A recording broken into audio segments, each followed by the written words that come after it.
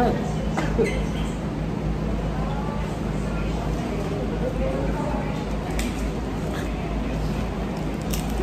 out. Okay po, isa pa po.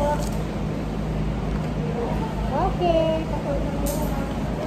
Thank you po. Ay, grabe. Grabe yung kulitog. Ah, na-virgin na na naman.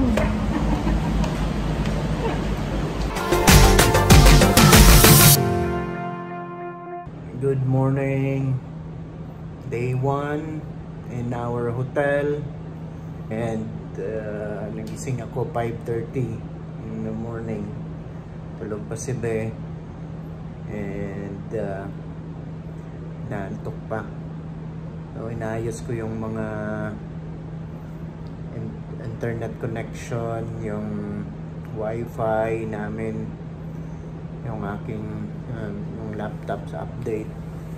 Medyo mahina lang yung mga connection so uh, hoping na makapag-update. So yung aking uh, packet wifi expired na pala ang SIM. So hindi pumapasok yung load galing sa labas. So pag nasa hotel ka di ka basta-basta makaload. Kailangan tawagan mo yung mga kamag-anak or mga kakilala mo sa labas para ma-loadan ka ayun waiting for breakfast it's 6.44 good morning yes Good morning! It's 10 o'clock. Nagkatulog ako ulit, guys. Yan yung breakfast namin, no? Merong longganisa, Manganisa, egg, and and uh, rice. Fried rice. rice. And syempre, coffee. Yan, yan yung yan yung breakfast namin yan sa bed.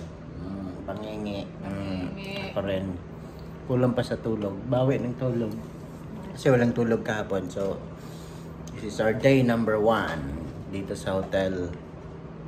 I see you later. Today, syempre mag-exercise tayo kahit 15 minutes. Kailangan mag-exercise natin.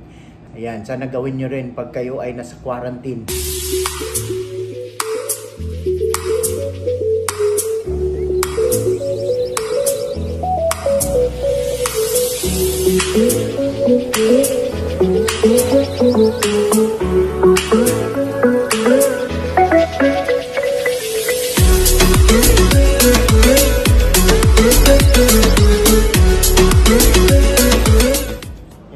And that's it guys. That's our uh, first day here in the hotel. And marami tayong nagawa. No? Naging productive ang ating araw. Nakapag uh. Si Ben naka-attend ng conference. And ako rin nakapag uh, exercise kanina. So, yan. Good night and see you tomorrow.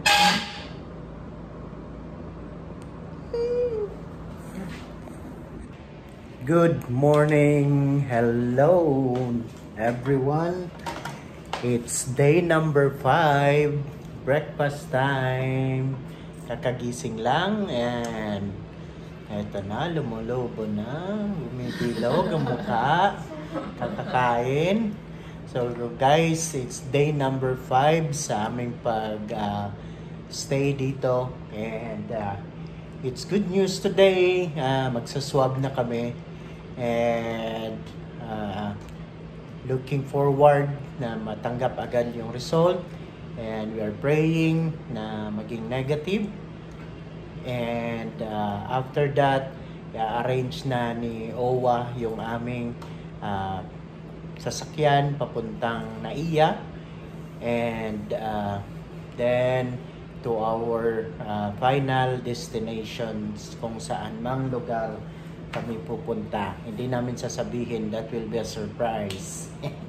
Ayan, so kakatapos lang mag-breakfast, we are having very nice breakfast, egg and uh, hot dog and also uh, coffee and sebe. Ako, hindi ako nakatulog talaga kagabi. So, sobrang excited. Excited na makalabas dito. Hello! We're ready and excited para sa aming swab test. Dala namin ang aming ah, passport. Dala namin ang aming passport and the ah, CIF or the ah, case investigation form and QR code. Papunta na kami ng lobby and uh, uh, syempre we need to follow the uh, safety protocol face mask and uh, social distancing. So we're excited para makalabas na rin bukas and makapunta na sa aming destination. Okay? Good luck and see you around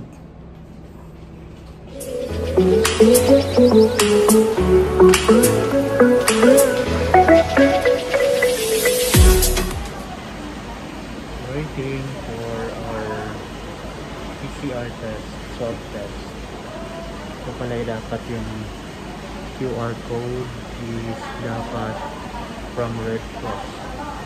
Andun na si Ben, nauna na si Ben.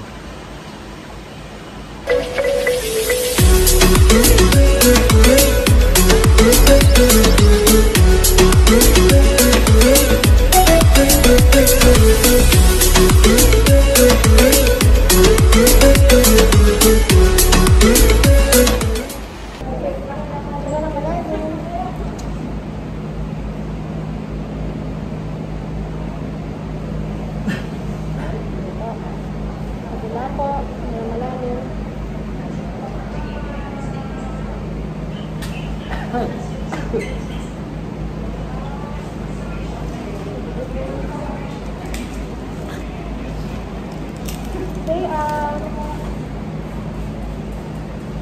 Open pose ka pa po.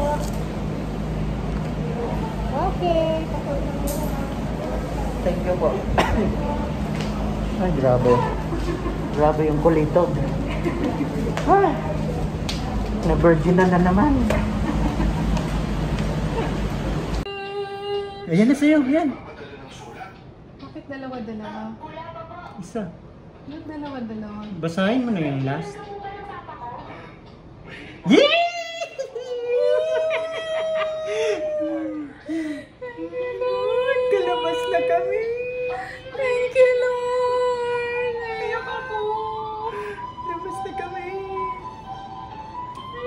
God. Thank you. Guys, we got a result. And it's negative. We are free to go. Graduation time. Graduation time! Naiyak! Naiyak! Yay!